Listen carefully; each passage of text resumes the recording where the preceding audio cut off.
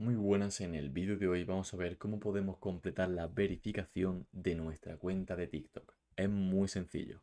En primer lugar, abrimos la aplicación y vamos dentro de nuestro perfil a las tres líneas horizontales de arriba a la derecha. Seguidamente pulsamos en Ajustes y Privacidad, que es la última opción que aparece, y le damos a Cuenta, que es la primera opción. Ahora le damos a Verificación, que se encuentra justo aquí, y le damos a Empezar.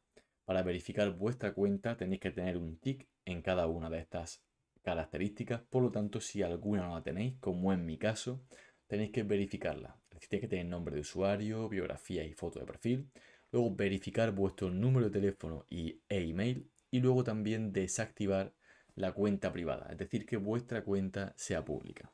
En caso de que os falte alguno, como es el mío, por ejemplo el del email y el del correo, es aquí en información de usuario.